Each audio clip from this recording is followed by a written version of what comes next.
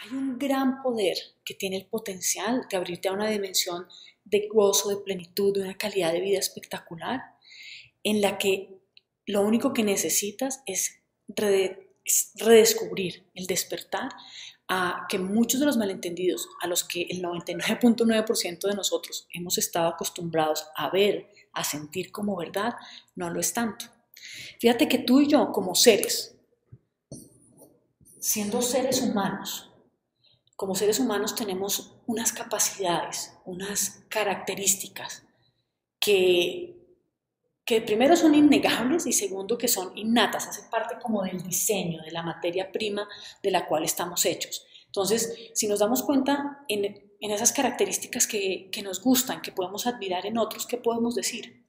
Creatividad, o sea, la capacidad de crear, la capacidad de, de disfrutar la vida, de gozo, la capacidad de conectar con otros seres humanos, la capacidad, es que esta parte de crear es porque es crear situaciones que nos gustan, crear cosas buenas, eh, crear relaciones, entonces, bueno, ¿qué es lo que nos, qué es todo eso que, que, de una u otra forma buscamos? ¿Y cuáles son las características que vemos que los seres humanos que las, vives, que las viven tienen?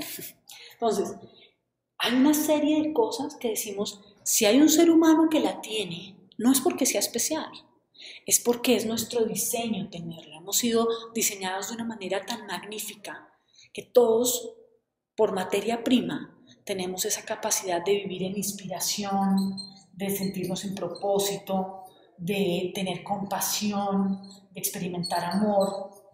Bueno, ¿qué más podemos de vivir en abundancia, etcétera, etcétera? Todo esto hace parte de lo innato del ser humano. ¿De acuerdo? Ahora, ¿experimentamos eso todos los seres humanos? No. ¿Por qué? Porque empezamos a que los seres humanos somos seres pensantes. Vivimos la experiencia de pensamiento, momento a momento. Eso es lo que vivimos, de acuerdo a lo que estamos pensando. Entonces, ¿qué ocurre? Aquí esto pareciera que porque me ocurrió esto, esto se me dañó, yo no nací con esto, porque mi personalidad no me permite esto, bueno. ¿Y todo eso qué son?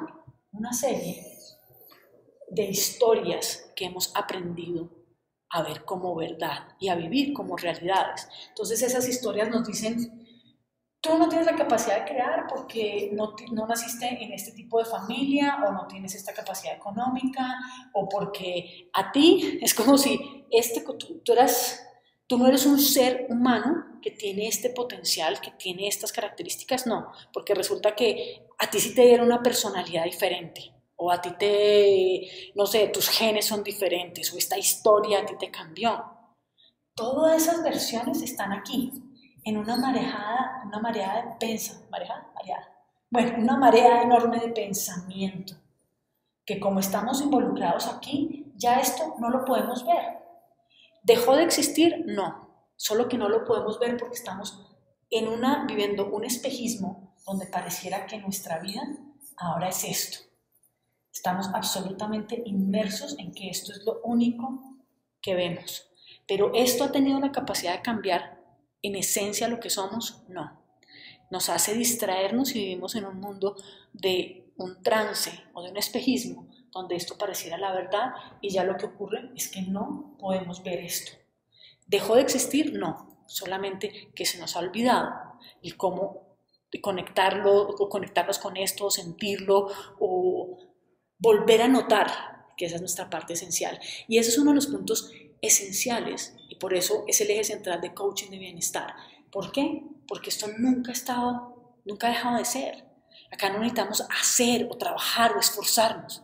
Necesitamos es entender cómo disolver esto para que vuelvas a sentir esa naturaleza esencial que tú y yo y todos los seres humanos tenemos. ¿De acuerdo? Entonces confío que esto sea de utilidad porque aquí está la clave para esa vida de gozo, de plenitud que todos, y de logros, y de abundancia, y de amor, y etcétera, todo lo que de una u otra forma estamos buscando. ¿De acuerdo? Nos seguimos encontrando. Mil gracias por seguir siguiéndonos, por comentar, por compartir y bueno, por hacer parte de esta misión de crear un mundo de gozo y de plenitud para todos. Gracias.